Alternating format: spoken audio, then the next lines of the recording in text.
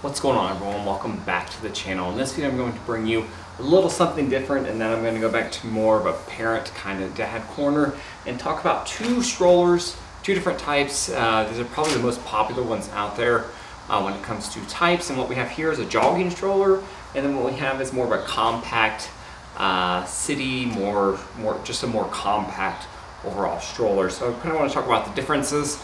We own both and I'll kind of go over the reasons why and maybe why two may be appropriate for you, they may not. I don't know, they're very expensive, which we'll talk about that when we go in. Um, the first thing is this is the Bob Revolution 3. It usually retails for about $4.99, so usually about $500 is what this will run. I did get it on sale for about $4.15. You can get it on sale from time to time, um, but it's a rather large stroller. As you can see here, basically covers up my whole body. Uh, and I'll get you some shots of it uh, up as we go we talk about it. And this is the baby jogger. This is the City Tour. Uh, this generally retails for 199. I spent $99 on this, so it was pretty cheap. And this one goes on sale more frequently. So you can find it a decent amount of times on sale on Amazon, Buy Buy Baby. Um, there's a couple other baby websites you can buy it for. And as you can see, it's very small compared to the, the actual uh, jogging stroller here. So, two things to consider here. If you're obviously if you're not going to jog, I'm not really sure I would do a jogging stroller, but it could still be for you. Uh, so originally we bought the, the Bob Revolution uh, 3.0 because my wife wanted to be able to jog with it uh, as she progressed along. She took almost a full 12 weeks off, so she didn't want to be stuck inside. So she did want to have the ability, even though you're not supposed to jog with these till they get your baby gets, I think, six weeks, six months. Uh, check the manual before you do any type of jogging with anything. Uh, H stroller is a little different. Uh, but we wanted one because we're a little bit more active, so we wanted something that was a little bit better for uh, just getting out. Uh, we have some nice, nice trails around here uh, and some nice parks to go to. Uh, so that's what we originally bought. and generally with the, the larger strollers, you will notice that they will not fit in a lot of cars. I had it, we used to have a Chicco jogging stroller that actually did not fit in my WRX, which I had before, which a WRX is similar to a Civic Corolla in the size-wise, so it would not actually fit in the trunk. Uh, so you do have to keep that in mind just to make sure that it fits. This one folds up a little easier, a little more compact, but um, with the larger strollers, you're gonna have some type of suspension for the jogger ones, and you're gonna have overall more storage, uh, that's the one thing we really like about the jogging one is that there's tons more storage in here. So if you're doing something out in a park, you're to be using the stroller for four, five, six hours, this is the one I would recommend just because of how much storage there is for it. There's a whole lot more accessories for it uh, when you compare it to a smaller stroller and it's a lot smoother. So the handlebar goes up and down, you can adjust it, there's more adjustability, you can adjust the suspension. It has larger tires on it, uh, and it just overall has a smoother design. Also has a front wheel here on the front, which actually locks, uh, which I, I think is nice. Um, and this one has, I'm not sure if the small ones have more accessories, but there's a ton of accessories you can get for this. We got a tray table for the front. Um, uh, we have tire pump, which you can get for it. So these tires are known to go flat from time to time. Uh, so that's the big thing with the with the larger ones. They just obviously have more room. It's the same thing with a vehicle. You have more actual room and ability to be able to uh, put more stuff in it. And it's a little bit more comfortable for uh, the, the, baby, toddler, kid, however you want to, uh, you know, whatever type of size uh, little one you're putting in here. And it has a better harness, I find. Uh, it seems to put them in a little bit more secure, obviously because it's a jogging stroller, so it wants to be more of a, it's more of like a race car type of, of harness on it. Um, so that's mainly the big, the big positives. There's a whole lot more that you can do with it. The big negative is that it's expensive. Almost all the jogging strollers. There's not very many of them actually. I think there's only eight to 10 that I find that are legit jogging strollers. Uh, some, as you can act, some of them say that you, they're labeled as jogging, but they're actually not if you actually look into them. Um, so they're generally really expensive. So this is between 415 and $500. I've never seen it below $400. So you're gonna pay a pretty premium for it, but you can tell with the build quality, uh, it's got a decent amount of metal to it. But that's probably my only negative is the size and the actual size, weight, and uh, price of it. So it is a little bit heavier. It's crazy how much heavier it is compared to this small one.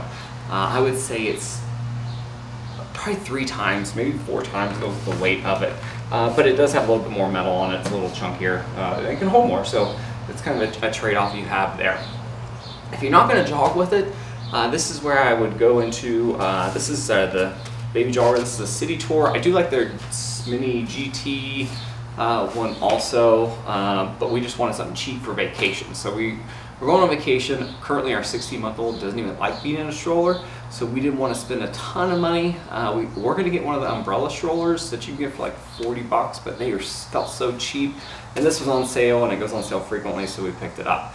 Uh, so the first thing I noticed about this stroller is just how much lighter it is. So it is easy to carry around. Uh, both these strollers actually fold up pretty easily, but this one's way easier. It's just one hand, then you can fold it up uh, really easy with just that one hand. So this one requires a few more steps. You got to fold the arm down, and then you got to um, go in and actually fold, uh, pull up on it. Actually, I don't even remember how to um, to fold it up now because we very rarely travel with this one. We almost always take this one.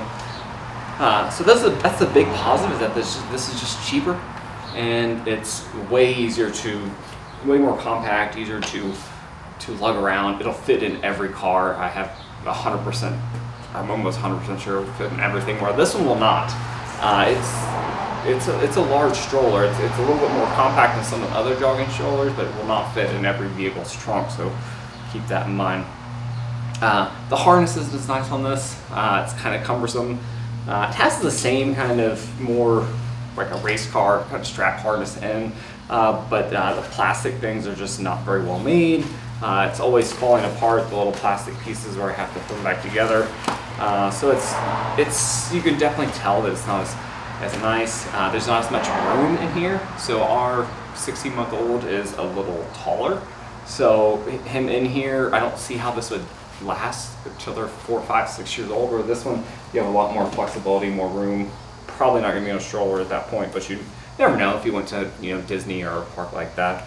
Um, the canopy on this does not go as far over, so doesn't have as much shade protection, whereas in the jogging one, it uh, actually really has a huge shade on it, so you actually can do a decent amount and uh, outside in the sun and you don't have to worry about that.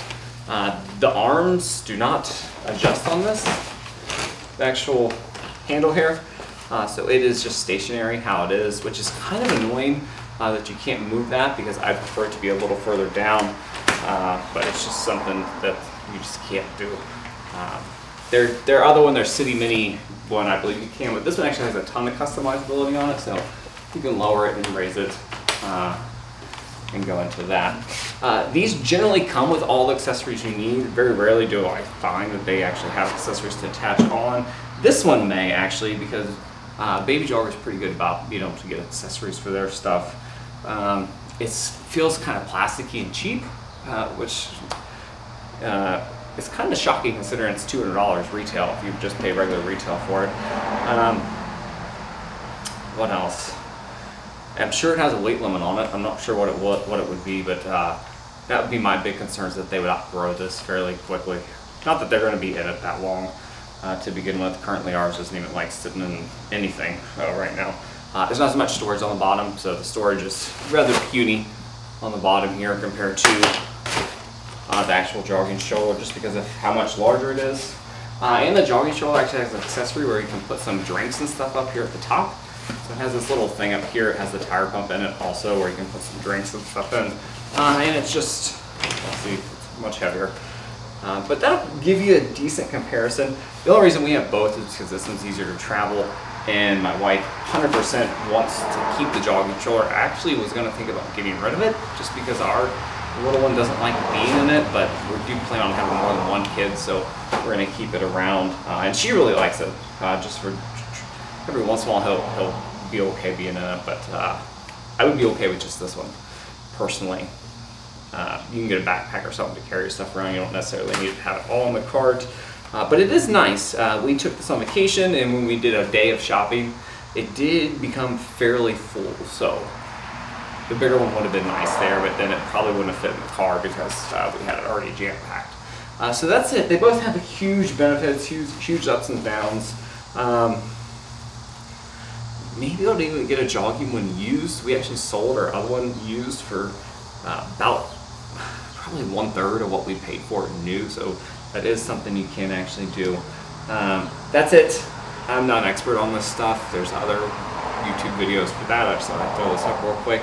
Uh, if you have any comments, questions, leave them below. I will get back to you. Thanks for watching, and I'll see you guys next time.